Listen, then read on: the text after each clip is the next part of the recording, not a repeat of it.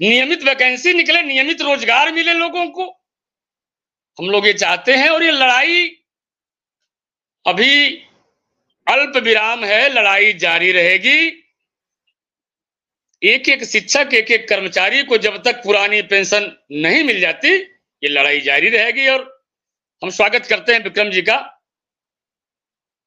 आपके मुद्दे पे हमने बात की है महाराज जी से। बहुत एक लाइन में, ज़्यादा नहीं। झूठ नहीं कहूँगा। एक लाइन में बात किया। हम गए, बुके दिए, उनको धन्यवाद ज्ञापित किए, वो बधाई दिए, मुस्कुराए। हमने कहा, महाराज जी, अनुदेशक और शिक्षा मित्रों का भी भला हो जाए। एक लाइन में कहा था। मुस्कुराए वो। इस पर आपको मिलने की ज़रूरत है और निश्चित रूप से मैं लखनऊ में था परसों से तो शासन में सचिवालय में भी गया था, सुंदरम जी से भी मिला था आप लोगों का कुछ बेहतर होने वाला है, मैं आपसे। कुछ बेहतर होने वाला है, निश्चित रूप से होने वाला है। वहाँ कुछ ऐसी सूचनाएँ हमको मिली कि अनुदेशकों का कुछ बेहतर मानदेय हो जाएगा, शिक्षा मित्रों का कुछ बेहतर मानदेय हो जाएगा, रसोईया का भी होगा। रसोईया, आंगनवाड़ी, आशा बहू स्पेशल एजुकेटर ये कस्तूरबा विद्यालय, ये सारे लोगों को, देखिए, झटका बहुत ज़रूरी था। जो अति बहुमत होता है मिश्रा जी, दस साल तानाशाह देश पर राज्य किया। दस साल तानाशाह देश पर राज्य किया और 24 के चुनाव ने जनता ने तानाशाह को धराशाही किया।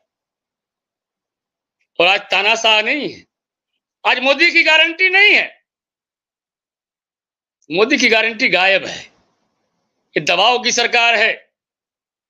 तो हमको शिक्षकों, कर्मचारियों को हिंदुस्तान की जनता को कमज़ोर सरकार ही चाहिए। जो डरी रहे, सहमी रहे, अब ये आदित्यनाथ जी को क्या हटाएँगे? कि अपना सरकार पहले बचाएँ, ये उसी में उलझे रहेंगे। लेकिन ये तय जानिए सरकार एक साल का कार्यकाल पूरा नहीं करेगी। बिहार के चुनाव के बाद सत्ता का परिवर्तन होगा देश में।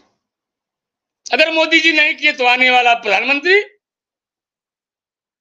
जो इंडिया का होगा उनके एजेंडे में भी है। पेंशन मिलने के बाद मुख्यमंत्री से मिलने के बाद तेवर बड़े तल्ख हैं। कुछ खास मुख्यमंत्री जी का मैं मुख्यमंत्री जी का मैं बराबर सम्मान करता हूँ अब भी करता हूँ तब भी करता था।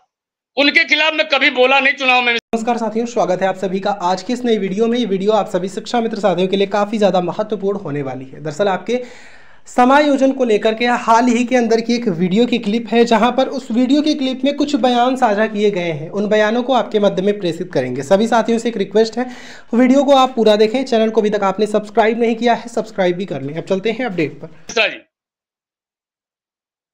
हम तो उनके सुरक्षा की बात करते थे कि हम उनको बचाने का काम करेंगे अमित शाह की साजिश सफल नहीं होने देंगे। अब प्रधानमंत्री उत्तर प्रदेश से जाएगा मिश्रा जी। अब गुजरात से उत्तर प्रदेश, बाया उत्तर प्रदेश प्रधानमंत्री नहीं जाएगा।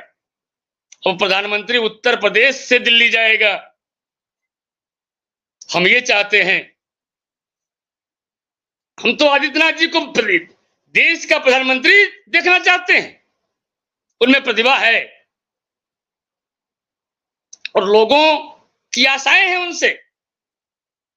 इस एक फैसले से हिंदुस्तान का पेंशन विहीन उनके प्रति आशा भरी निगाहों से देखने लगा है मिश्रा जी। हाँ, ठीक है और जब विक्रम भाई का बेहतर हो जाएगा जब विक्रम भाई का बेहतर हो जाएगा जब शिक्षा मित्रों का बेहतर हो जाएगा तो हम सभी हिंदुस्तान के सिंहासन तक योगी जी को पहुँचाने का काम करेंगे। ये वचन देते हैं। जो हमारे बुढ़ापे की लाठी के वापस करने का काम किया। मैं उसका ऋणी हूँ मिश्रा जी। मैं उस व्यक्ति का ऋणी हूँ। हमने आठ से ये लड़ाई शुरू की थी।